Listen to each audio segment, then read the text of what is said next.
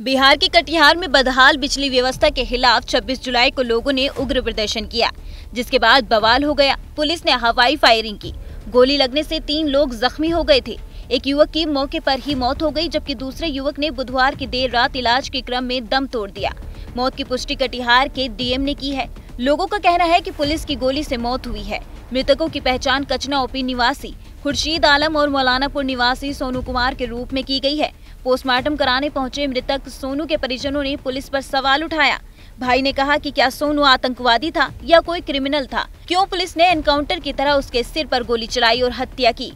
मैं पुलिस प्रशासन से ये पूछना चाहता हूँ, क्या क्या मेरा भाई कोई आतंकवादी था या कोई क्रिमिनल था या फिर आंदोलनकारी था? वो तो कोई नहीं था। वो सिर्फ़ हमको लाने गया हुआ था। तो उस पर वैसे, वैसा क्यों गोली मारा गया जो सीधे सर पर इनकाउंटर इनकाउंटर की तरह किया गया? अच्छा अंधाधुन गोली चला है। गोली तो सर चलाया गया। है मेरे सामने तो हवाई फायरिंग किया गया था। और मेरा भाई जो है छोटा भाई वो देखा है फायरिंग करते हुए आदमी के ऊपर। कितना लगभग लोग थे प्रदर्शन में? आदमी तो बहुत था सर से लगभग छः सात सौ आदमी लगभग करीब था वहाँ आठ सौ आठ सौ आदमी के। तो लाठी नहीं चलाया था स्टार्टिंग में लाठी ही चलाया था। फिर उसके बाद हवाई फायरिंग किया गया। फिर उसके बाद तब जा कर के फायरिंग किया गया। घर कितना दूर है? घर तो मेरा सर वहाँ से पाँच सौ किलो पाँच सौ मीटर होगा। ये लोग क्या सर सारे लोग पत्थर चला रहे थे पता क्या? पत्थर हाँ पर, पहले पत्थर चला रहा था तोड़ फोड़ कर रहा था प्रदर्शनकारी सब पूरा गेट उट तोड़ा है। पावर हाउस हाँ गेट उट तोड़ा है लेकिन अंदर घुसा नहीं था। गेट पूरा मेन गेट तोड़ दिया था लेकिन अंदर घुसा नहीं। क्या नाम हुआ? मेरा नाम हुआ मोनू कुमार।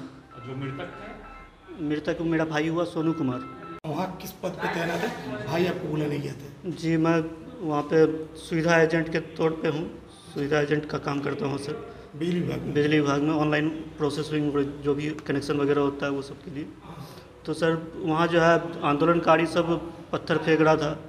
तो मेरा भाई का कॉल आया तो कहा कि हम उनको बोल भी दिए कि सर भाई हम सुरक्षित हैं वहाँ। फिर भी पत्थरबाजी हो रहा है तो ये देख करके फिर आया वो।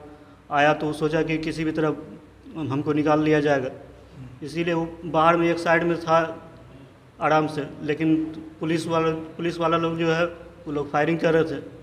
आ, पहले तो हवाई फायरिंग किए उसके बाद फिर आदमी पे भी फायरिंग किए तो जिसके कारण जो है तीन आदमी का डेथ हो गई उसमें मेरा एक भाई भी शामिल तीन आदमी को गोली लगा दो आदमी डेथ किया। हाँ मेरे हमको जहाँ तक पता है तीन आदमी को शायद गोली लगा हाँ। जिसमें से एक मेरा भाई भी शामिल था। क्या नाम था भाई? का मेरा भाई का नाम सोनू कुमार है। फिर उसके बाद हम जब निकले ऑफ़िस से तो देखे क्या कि कोई हम मेरा परिजन मेरा जानने पहचान वाला ही आदमी कहा कि तुम्हारा भाई जो है यहाँ गोली लग गया है।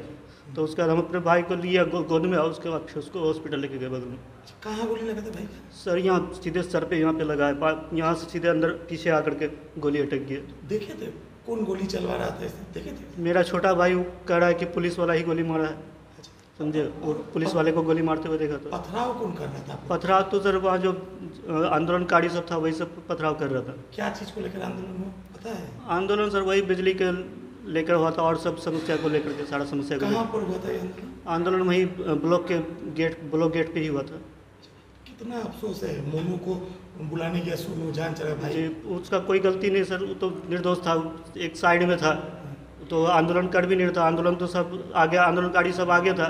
और वो पीछे था अब उनको आगे वाला को नहीं लग कर पीछे वाले को मार कितना उम्र था भाई? भाई का इक्कीस साल हो रहा है। क्या करता था? भाई अभी पढ़ाई कर रहे थे आर्टिफिशियल इंटेलिजेंस का तैयारी कर रहा था कोडिंग वगैरह सब सीख रहा था। वहीं बेसुध पड़ी सोनू की माँ रेखा देवी ने अपने दोनों हाथ जोड़कर चिल्ला चिल्ला कर बेटे की मौत का इंसाफ मांगने लगी। कहा कि मुझे हर हाल में इंसाफ चाहिए। के सब पदाधिकारी को बोल रहे हाथ जोड़ के हमको इंसाफ चाहिए हर हालत में इंसाफ चाहिए अगर नहीं मिला इंसाफ तो हम मुख्यमंत्री के पास जाएँगे प्रधानमंत्री के पास जाएँगे मेरा औलाद के बदला औलाद चाहिए।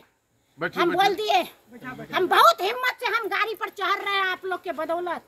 हम कह दिए अगर हमको इंसाफ नहीं मिला हम खटखटाएँगे सभी का दरवाज़ा। इस पूरे मामले में मृतक सोनू के परिजनों ने बताया कि वो अपने भाई मोनू को लाने के लिए गया था। मोनू बिजली विभाग में ही डाटा ऑपरेटर के पद पर काम करता है।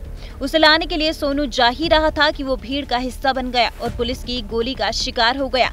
कटिहार मेडिकल कॉलेज में ही इलाज के क्रम में उसकी मौत हो गई। उधर तीसरे घायल मिनहाज को इलाज के लिए सिलीगुड़ी भेजा गया है।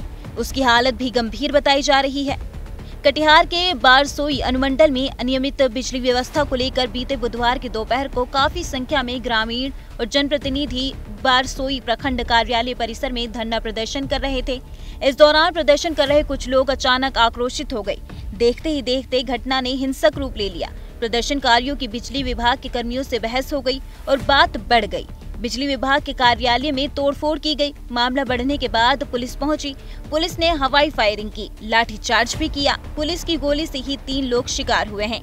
इसकी आधिकारिक पुष्टि नहीं की गई है। इधर देर रात सदर अस्पताल के पोस्टमार्टम हाउस के बाहर डीएम और एसपी मृतक के परिजनों से मिलकर ढांढस बंधा रहे थे। मृतक के परिवार को इंसाफ दिलाने का भरोसा दिलाया है।